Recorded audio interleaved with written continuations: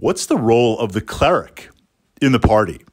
That's the question that we're going to ask and explore in this vlog because I feel like out of the different and various character classes in D&D, there are not only numerous ways to, to play them, but there are certain expectations put on those character classes by the other party members. And this kind of makes sense from the perspective of Dungeons and Dragons. Your party is as like a secret agent troubleshooter commando team.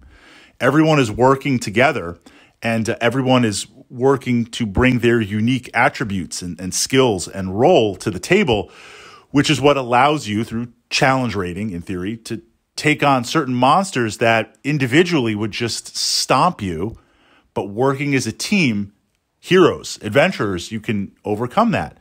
So this leads to certain expectations like, well, the rogue should be detecting traps. The bard should get us a better rate at the end to save gold. And the mage is doing that magic type, type thing.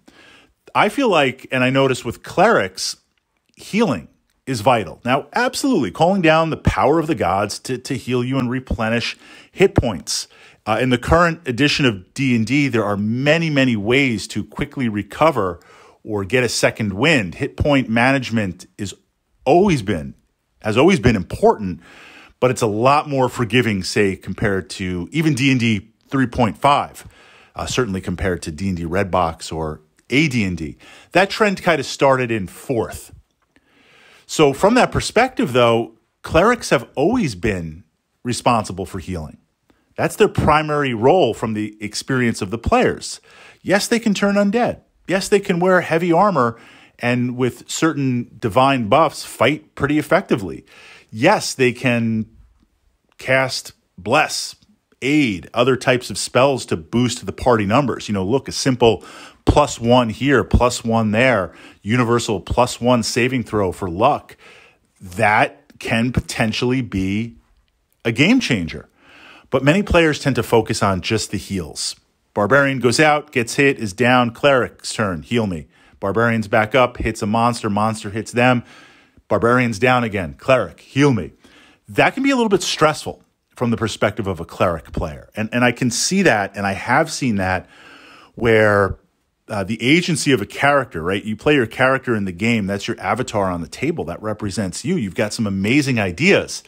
But often in combat, uh, the player has a diversity of spells that they can use and some really amazing synergies and plans. But just how combat is based, they're like, I got to keep the party up. I got to heal. I got to heal. I got to heal. That that could lead to um, a little bit of frustration. And I'm not certainly not saying that in every game. And certainly as you level up, once you hit like around level eight or nine, other heals start to open up. Uh, laying on hands, monk abilities, paladin abilities, um, magic items, other heals. You know, certainly you could hire an NPC cleric. We had like a whole uh, making our way through the keep on the borderlands. We had a whole like chorus of of NPC acolyte clerics, lower level clerics that we were just making donations to um, the church back at the keep, just to sit there and like blast us with with healing spells. So the, it does become a little bit easier as the party level ups but within that, what are some of the things that we can do to mitigate the ability, the need to constantly heal? It's your turn as a cleric. It doesn't matter what initiative order I'm in. I'm just going to heal people. Um, I was recently playing a druid, and I, I found keeping track of the spells that I was burning off. They were cure light wounds. They were heals. They were healing word. That that was like ninety percent. Um, that and Entangle, and then later Fl- Flaming Sphere. I mean, we only really made it to uh, the lower levels of playing. But from that perspective, even as a secondary healer, that's what I was occupied with most of my time.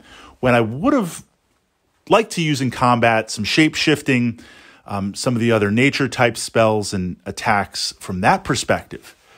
So, what can we do? Well, as soon as it's possible, I say as soon as it's possible because, again, the campaign depends on many things. Other alternate ways to heal. The classic old school healing pot. Have a few of those. Um, as a secondary character comes online, if it's a druid, if it's a monk, if it's a paladin with some heals, have them assist with the healing duty. Although that could be a little bit challenging because being primary damage dealers, that's where they want to be burning their initiative and, and not on healing. And then, second, with the cleric, looking for um, positioning. Where can you be to heal most effectively? So maybe you don't have to heal every other turn. Maybe when you see someone starting to dip down, you can blast them with a heal, but then in the next initiative turn order, that will free you up to do something.